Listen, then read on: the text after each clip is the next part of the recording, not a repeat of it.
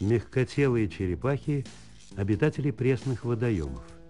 Ноздри у этих животных расположены на кончике морды, вытянутой в мягкий хоботок, что позволяет черепахе дышать, не высовывая голову на поверхность.